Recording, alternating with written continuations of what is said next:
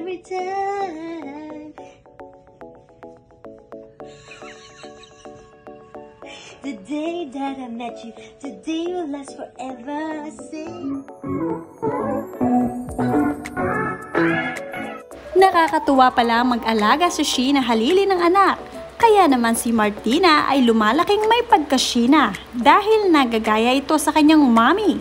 Walang boring moment pag magkasama ang mag-ina, kaya kay lusog-lusog ng batang ito. Halika't panoorin at kung hindi pa kayo nakasubscribe, don't forget to click subscribe and hit the notification bell to keep you updated.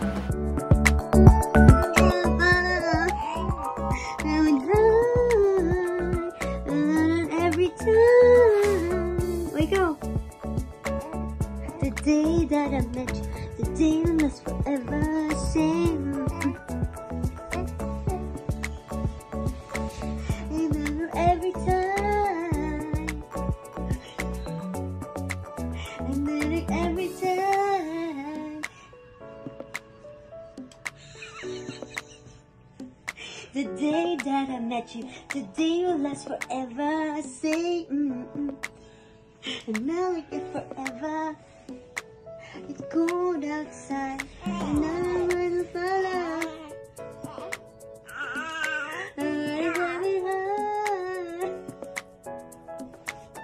Oh, the day that I met you, the day will last forever. Say. Di. Ginhawa ng alagaan si Martina dahil malaki na ang bata. Nagbakasyon din ang mag-anak at ito ang kauna-unahang bakasyon ng kanilang baby. Kaya madalas ay nagpapaselfie sila para may remembrance.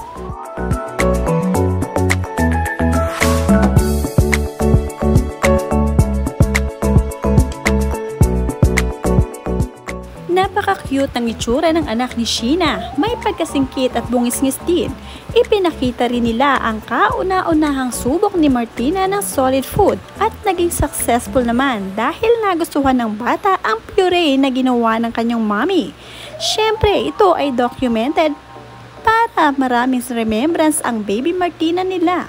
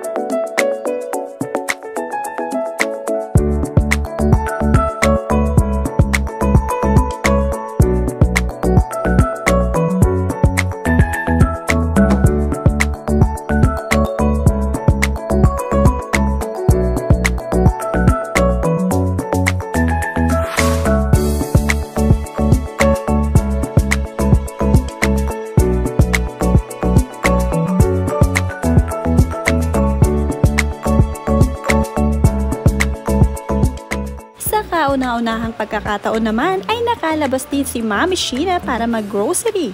At nakakatuwa naman dahil na-miss din niya ang isa pang gawain ng mami ang pamimili ng mga kailangan sa bahay.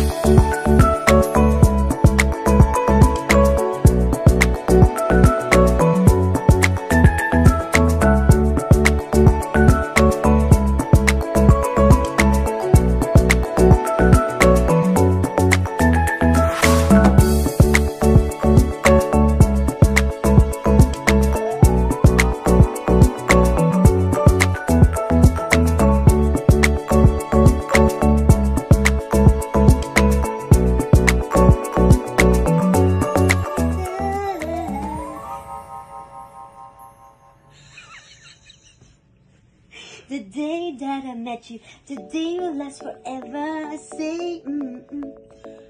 And now like it forever. It's cold outside, and I'm for love.